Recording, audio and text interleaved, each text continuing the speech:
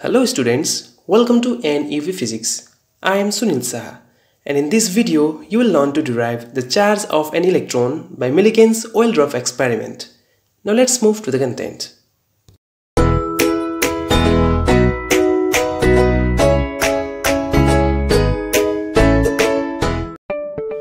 The apparatus for the Millikan's oil drop experiment consists of two parallel conducting metal plates. There is a small hole at the center of the upper plate from where clock oil is sprayed by using atomizer. The droplets of clock oil are negatively charged by using X-ray. Then the motion of a single droplet of clock oil is observed between the two parallel plates by using a microscope. The motion of the droplet is observed in two conditions. Now let's move to the first condition. In the first condition, the motion of the droplet is observed in the presence of gravity only. When the droplet is falling freely between the two parallel plates, there are three types of forces acting on it. The viscous force and the upthrust of air is acting upward, whereas the weight of the droplet is acting downward. When the droplet falls with a uniform velocity v1, which is also called terminal velocity, then in this case, the upward force on the droplet must be equal to the downward force. So we can write viscous force plus upthrust is equal to weight of the oil drop.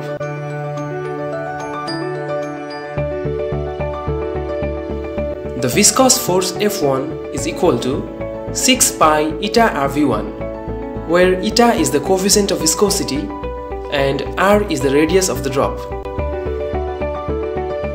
The upthrust of the air is equal to V sigma z where V is the volume of the drop, sigma is the density of air and z is acceleration due to gravity. Since the oil drop is spherical in shape, its volume is 4 by 3 pi r cube.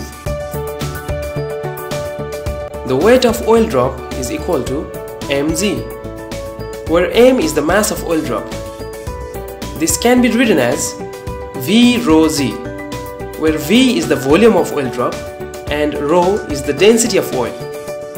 This can further be written as 4 by 3 pi r cube rho z. Now substituting these values in equation 1, we get the following expression.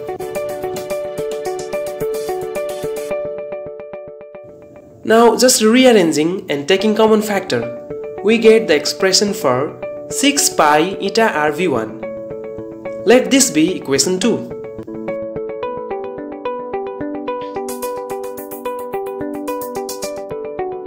Simplifying this further, we finally get the expression for the radius of the oil drop. Let this be equation 3.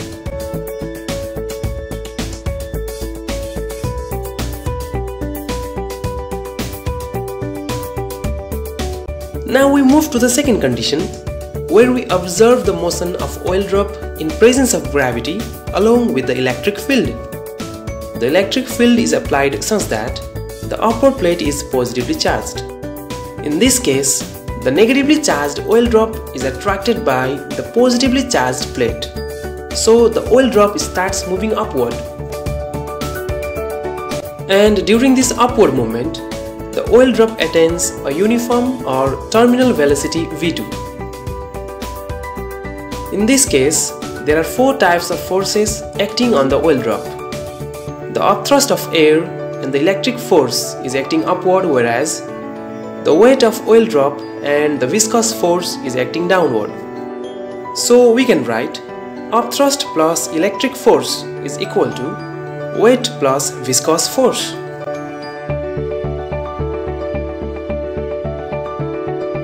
We already know that the upthrust of air is 4 by 3 pi r cube sigma z, where sigma is the density of air. The electric force Fe is equal to Q times E, where Q is the charge of oil drop and E is the electric field applied. Again we already know the weight of oil drop W is equal to 4 by 3 by R cube rho z where rho is the density of oil. The viscous force F2 in this case is 6 pi eta r V2. Here V2 is the terminal velocity of the oil drop when it is moving in the upward direction. Now substituting these values in equation 4, we get the following expression.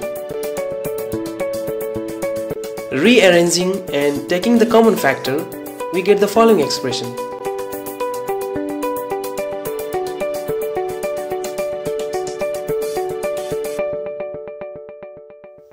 Now substituting the value of the first term of right hand side from equation 2, we get the following expression.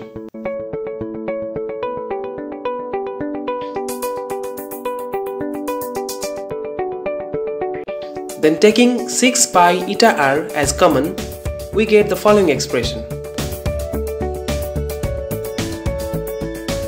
From here we get the expression for charge q of the oil drop. Now substituting the value of r from equation 3, we get the final expression for q which is the charge of oil drop.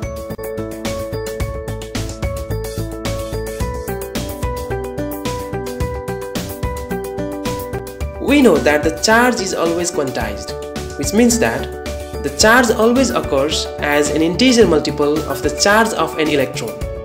So, if n is the number of electrons in the oil drop and E is the charge of an electron, then Q must be equal to n times E. Finally, we get the charge of an electron E as Q by n.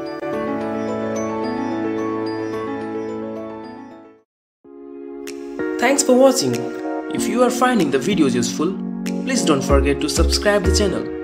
Also press the bell icon for the notification of upcoming videos.